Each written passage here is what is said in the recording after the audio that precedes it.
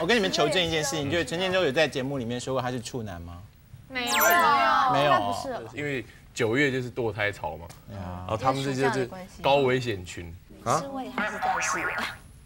哦，你跟我讲干嘛？我们有人问你说是处女还是不是处女？你平常是不是有酗酒的习惯？所以大牙，大牙有时候要陪客人喝几杯。没有，大牙真的很没有。大牙很漂亮哎，有被搭讪吗？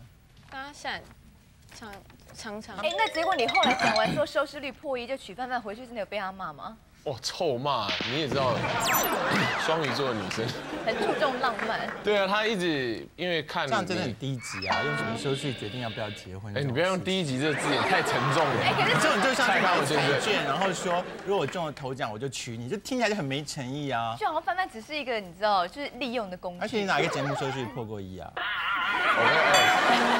你的第一次跑出来了。这位是 Cindy 是不是？Cindy，那你去黑人后面，然后跨坐在他脖子上。建州，我们这一集就这样专访哦。怎么那么酒池肉林啊？陈建州，你是什么节目啊？报警了！报警了！好啦，现在不知道有没有机会，我想亲你的话，我我比较直接。呃。我我可能没有办法接受你的。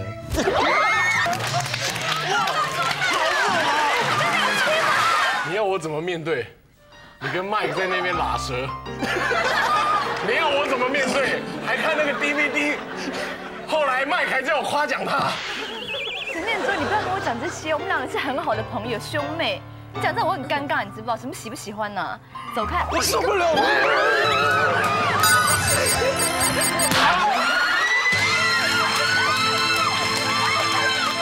周难道不需要巴结吗？你有没有常常称赞陈建州说他帅吗？比如说离开美妹之后，你们美妹会不会一起讨论说，拜托，怎么都是讲一样的话，根本也没有很壮，明明是胖嘛？没有啦，没有。你好吓人。为什么你可以站在黑人旁边主持？因为其实一开始我在节目里面是班长，然后后来因为现在节目就是一开始就是班长，我也不知道，可能因为年纪比较大吧。接着问题更劲爆啦。九位美眉当中，谁可能为了获得演出机会而向长官献身呢？所以如果是你，就会想好；如果是你的话，你就会拒绝。会啊，因为太脏了。谁知道他有跟谁搞过？知道他怎么争取到这个主持人位置？OK，所以你没有觉得妹妹们会做出这些事情来吗？小杰，小杰，小杰，小杰很笨，真的真的，会变乌龙就对了，很傻。好，那我跟 S 可能要说出我们心中真正的人选来。你觉得谁会做这件事情？我们一二三一起讲好不好？一、二、三，大牙。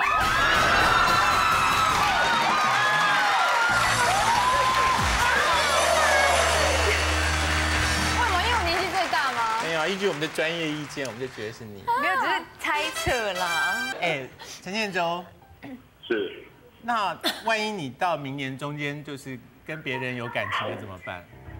哇，那对我来讲应该是比较不可能的了。真的吗？嗯。你不可能搞外遇吗？应该这个节骨眼是不会。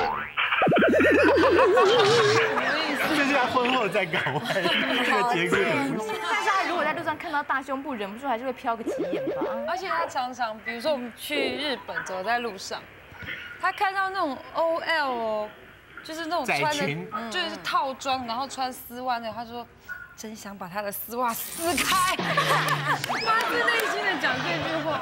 你们知道大 S 跟黑人交往过举手？没有人，我也没有提到。好多人知道哦。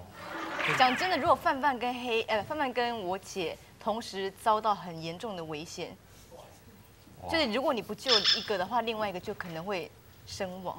就是他们俩都大哭说：“黑人救我！”然后我姐就是动真情说：“我真的爱你。”哪一个？好歹也只能讲说：“我以前曾经爱过你。”什么？我真的爱你。我以前曾经爱过你。对，我这样。你想想看，范范平常那个嘴脸。你是要怎么样？他会讲说。那你干嘛跟仔仔跟蓝正龙？当兵的时候那一段日子是真的，是我人生当中最不顺的时候。为什么会被甩？因为就我在军营里面呢，那他在外面，那是不一样啊。那你有后来有机会再碰到那个女生吗？有啊，就后来就比较豁达了。是徐熙媛吗？应该不是吧？以前我们还没有，我也还没结解放婚的时候，解放，解放，因为看他压力好像蛮大。曾经有过类似的。对，你带他去哪里？按摩没有，就是台北年轻人会去的地方，我们都有去过。他去的时候表现的好吗？哦，应该也有找到自己了哦。可是会拒绝女生靠近以前？以前是黑人乔王嘛，乔王，乔王那个时候就开始培养这个功力，功力。那那时候大家年轻啊，你年轻总是要尝试哦。黑人会过去自己自己找找女孩子，那时候就呃，他就会跟人家讲说，哎，王力宏你觉得怎么样？怎么样？他直接要不要烂的招你要不要亲一下？亲真的，假的？今天说这个习亲一个，亲一个，然后我在那。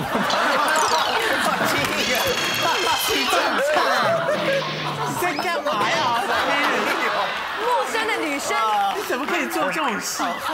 这个居然都不知道，我听到就醒了完全被蒙在鼓。而且你还我还没认识你的时候，我根本就是同时认识的好不好？在那边，你这是借由王力宏在把妹耶。而且你还演在范范身上，所以你这个故事的 ending 你是要讲什么？就是说黑人变到什么程度？就是巧到范范了。你知道范伟其实有多不可思议吗？他竟然想抗拒这件事。不是因为舌吻，我不喜欢唾液交换那种。对啊，所以可是我觉得点到为止。陈建州当时认为是听起来有点可以完成还是不能完成？呃，我觉得在一起就应该要舌吻。我有用那个 腹语跟他讲说，你不要跟我哼哼哼。把你还练成妇女，他会比如说我洗澡嘛，我在洗澡，然后我都会放那个睡衣在外面，然后我就洗洗完澡出来要穿睡衣的时候，就发现睡衣不见了，换成一个超级丁字裤加一双高跟鞋放在那。浪漫呐，就应该穿上。可是我刚洗完澡，我要睡觉，我穿它干嘛呀？我不讲这个干嘛啊？他就要睡觉啊，还要调情啊，没有就是要。对，那就很好，一个现成的戏他很用心哎没哎。有了，这我们很单纯的了。讲到就是虚构的了。就有一次我妈在家里做菜，然后请黑人来吃，然后陈建州就不知道哪来的那个你知道变态的劲又来了，然后他他就把。练完球回来就去他们家洗澡，他很爱去他们家洗澡，我不知道为什么然后。洗完澡之后，他就你就拿伞是不是？开了一把伞，他房间他，开了一把伞，然后就这样走出去，然后我妈在煮菜，他在我妈后面，他说徐妈妈，然后我妈转过来说干嘛啊、然后就把伞拿开，说啊，啊，这段也很好啊。看到他全裸，为什么他可以对别人做这么多下流的事，对你都不会？他对我没有哎，你们俩现在不会没有接吻叫你看远方，然后不接吻，哎呦，不要啦！他不喜欢那个了。我懂啊，他好像不大喜欢舌吻这种东西。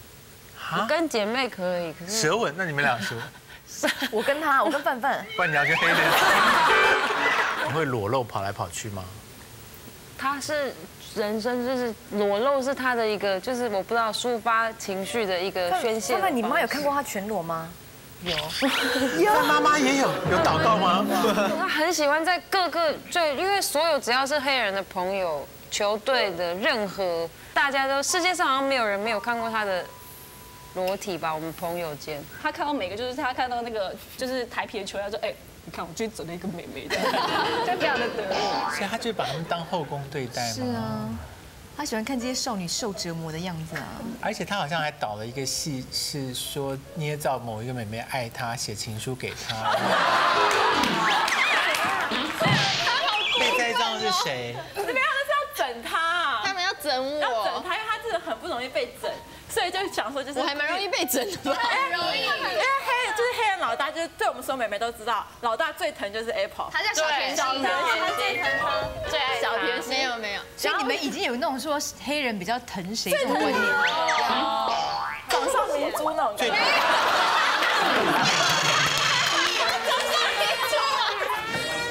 没有。今天在座的人有是黑人从头到尾都没有疼爱过的吗？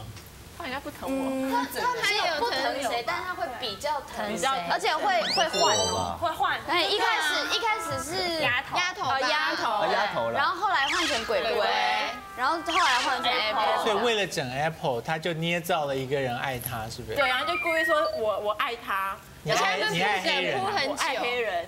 然后就为了这件事情，我们还在之前就先在微博。上面，可能跟他一起喝饮料，然后拍照这样子，就营造是真的的感觉。好多网友相信了。所以你铺路就铺很长了，是不是？铺很长，铺很长，然后后面在在我姐面前跟老大告白，然后老大也是很不屑的，而且是在节目上录影现场，因为那天就故意帮他弄一个相亲，然后就找了三个男生来，对然后大家其实也都不知道，然后相亲到最后就说要选，然后他半个都不选，他就说他内心已经有真的喜欢的人，你看他多贱，所以他不好意思选下都是陈建都安排了台词吗？跟他大告白，说我爱死他，而且他